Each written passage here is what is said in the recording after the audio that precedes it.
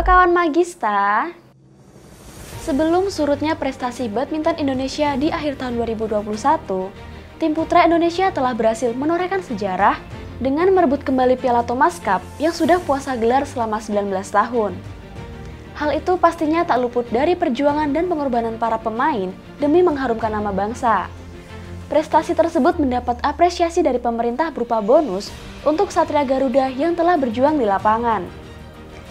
Jika kita mengenang kembali perjalanan bulu tangkis putra kita pada semifinal Thomas Cup tahun lalu, ada salah satu momen yang patut kita acungi jempol, yaitu pada saat ganda putra nomor 3 di Indonesia Fajar Alfian dan Rian Ardianto yang turun di partai keempat dan memastikan tim Thomas Cup Indonesia mendapat tiket untuk maju ke babak final.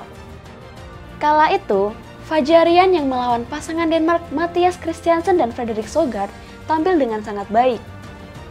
Bisa kita lihat di set pertama, saat poin masih di angka 8 sama, Rian Ardianto atau yang akrab dipanggil dengan panggilan Mas Jom ini sempat menjadi sasaran serangan pasangan Denmark.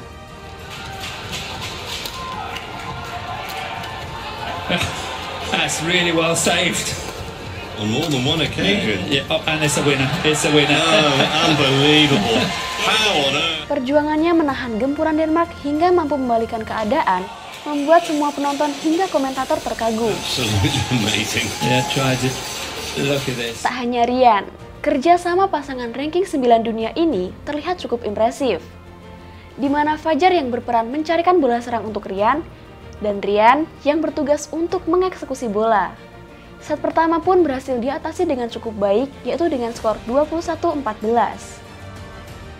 Memasuki set kedua, pasangan Indonesia yang lebih pede karena sudah menggenggam set pertama, memutuskan untuk kembali menekan pasangan Denmark.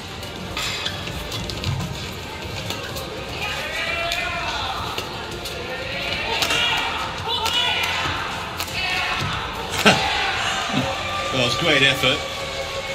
And in the end, it's just too much. Hasilnya pun, interval set kedua Fajarian unggul dengan poin yang cukup jauh, yaitu 11-2. Pasangan Denmark yang kemudian mencoba untuk mengejar ketertinggalan poin, pada akhirnya tetap tertinggal 21-14 dan harus puas pulang sebagai juara tiga di ajang Thomas Cup 2021. Jika melihat penampilan Fajar Alfian dan Rian Ardianto pada ajang ini, lalu kita bandingkan dengan penampilan mereka pada gelaran badminton festival yang diselenggarakan di Bali kemarin, mampukah mereka kembali bangkit di tahun 2022 ini? Dan akankah mereka bisa memberi kejutan untuk badminton lovers Indonesia?